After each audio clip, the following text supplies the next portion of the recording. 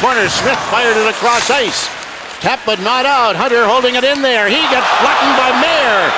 Tallinder takes it away. Here's Tallinder on the rush for Buffalo. In over the line. Back to Drury. Drury in front. They score!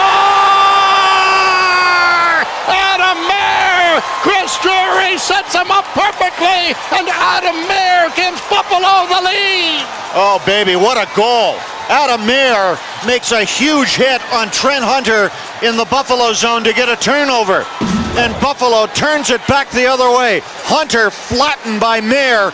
Buffalo gains control, goes on the rush, and the best rush team in the league makes it one to nothing as Mair does it at one end and completes it at the other. And Rob Ray, what a play that was. All right, fantastic. You know, that line just came off the ice.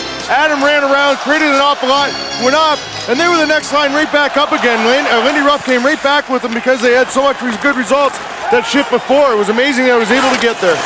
Mair trying to chase, chase after the